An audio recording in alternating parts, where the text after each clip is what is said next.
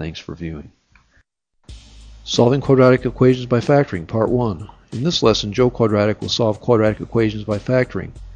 Joe's math teacher taught him quadratic equations that have one or two solutions can be separated into two linear expressions which can then be used to find the solutions of the equation. In this lesson, Joe will show us how to do it. Warning, warning, warning, finding factors of quadratic expressions are only intermediate steps to finding solutions to quadratic equations. If you stop after finding the factors, you will be wrong. From finding the factors, the solutions are counterintuitive, which means not what you would expect at first glance. Be careful, be vigilant.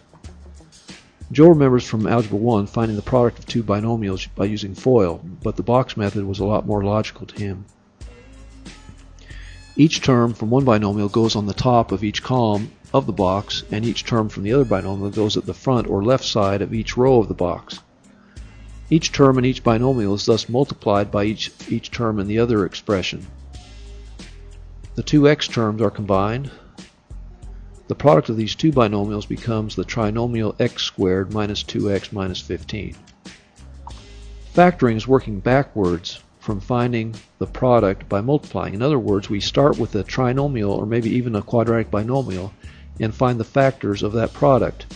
The equation has to be equal to 0 on one side to solve by factoring. If one side does not equal 0, we need to make it 0 to be able to do this. Now for this first problem, we'll start with the trinomial n squared plus 2n minus 3, which is already set equal to 0. Joe's first step is to place the n squared term in the upper left-hand corner of the box and the numeric term, negative 3, in the right-hand corner of the box, lower right-hand corner. Working backwards, we place an n at the top of the first column and at the side of the first row. Now comes the challenging part. We're looking for the two numbers that multiply together equal negative 3 and, when added together, equal the coefficient of n, which is 2. A systematic approach to finding the factors is to create two columns. The first one for the factors of that number in the lower right corner, in this case negative 3, and another column for a list of sums of those factors. The only two combinations of integers to get negative 3 are negative 1 times 3 or negative 3 times 1. We list the factors in the factors column. The next step is to get the sums of the two factors and place them in the column under sums. So we just add them together. And here are the numbers added together. This is the combination that has a sum of 2. So we put the number factors here as the arrows show. So we have positive 3 on top and negative 1 on the side. And part of the check is to multiply them out, and we see that the factors are quantity n plus 3 times the quantity n minus 1. We write them out below the original trinomial. So our solutions are 3 and negative 1. Danger, danger, danger, that is not the answer. We need to find the values of n that make the equation true. We split the binomials into two separate equations. We solve the equation on the left, and n equals negative 3 is on the left, and n equals 1 is going to be the right equation. And to check, we need to put each calculated solution into the original trinomial to assure that our solutions are correct. The confirmed solutions are n equals negative 3 and n equals 1. Joe will next solve this equation by factoring n squared plus 10x plus 27 equals 0. He sets up the box.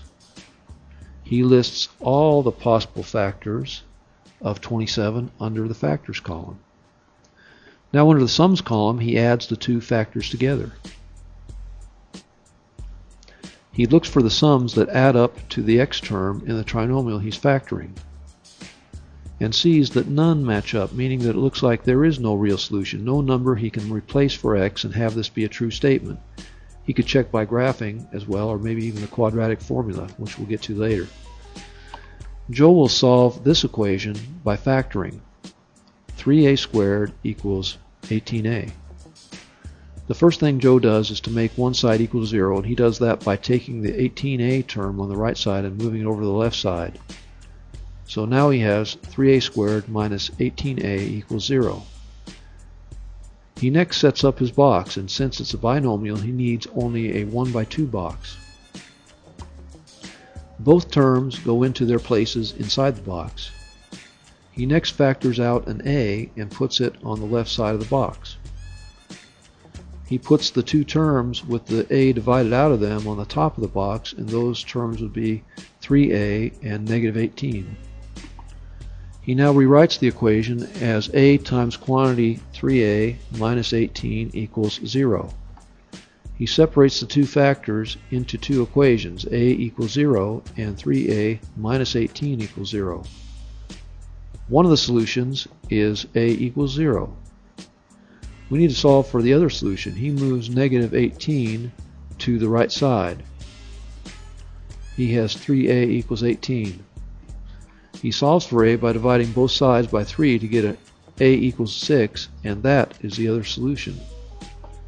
So Joe's solutions are a equals 0 and a equals 6. And this is our answer in set notation. Let's look at this equation, x squared minus 4x equals 12. Stop the video and solve this equation by factoring, then restart it to see if your solutions match those of Joe's. Hint, set one side of the equation equal to 0 first. Joe's first step is to get one side equal 0, and that is most easily done by moving the 12 on the right side over the left side. Now he has x squared minus 4x minus 12 equals 0. The x squared term goes in the upper left corner and the numeric term, which is negative 12, in the lower right hand corner. We place the factors of x squared in their proper places on the top and to the side. He sets the columns for factors and sums. He now lists the factors of negative 12. Looks like there are about, there are about six of them. Next, he adds the two factors together in the sums column. He looks up the x term in the quadratic equation. Its coefficient is negative 4. Is there a match in the sums column? Yes, right here. Both the coefficient of x and the sums of the factor are negative 4. That means that these two numbers, negative 6 and 2, are the factors that will work. He inserts these factors of negative 12 to the top and to the side of the box here. We see that the terms in these corners of the box sum to negative 4x, proving that the factors are quantity x plus 2 and quantity x minus 6. We rewrite the quadratic equation in factored form as quantity x plus 2 times quantity x minus 6 equals 0. Do not stop here. The solutions are not 2 and negative 6. We separate into two equations, x plus 2 equals 0 and x minus 6 equals 0. Solving both equations for x, x equals negative 2 and x equals 6. He rewrites the answer in set notation here. He can substitute negative 2 in for x, and it works as well as substituting in 6 for x, therefore two solutions. Let's look at one last problem, a multiple choice question about finding solutions by factoring. Which are the solutions to the quadratic equation quantity x plus 3 times quantity x minus 4 equals 0? When you see a problem like this, the test writer is setting you up. You see the 3 here matching the 3 in the answer here and the negative 4 matching the negative 4. The test writer is wanting you to bite on this one, but it's not the right answer. Remember, the danger, danger, danger, counterintuitive. To solve, you will need to write two separate equations, one for each binomial. One equation is x plus 3 equals 0, and the other equation is x minus 4 equals 0. To solve the left equation, we subtract 3 from both sides, so x equals negative 3, and for the right equation, we add 4 to solve for x, so x equals 4. Our answer is C. Don't be tricked. While this video has shown the basic concept and practice of solving by factoring and has worked out a few problems, most students need a lot more practice to be able to factor well. Get the practice and be successful. This has been Solving Quadratic Equations by Factoring, Part 1. Part 2 will have some more solving by factoring examples. Thanks for viewing.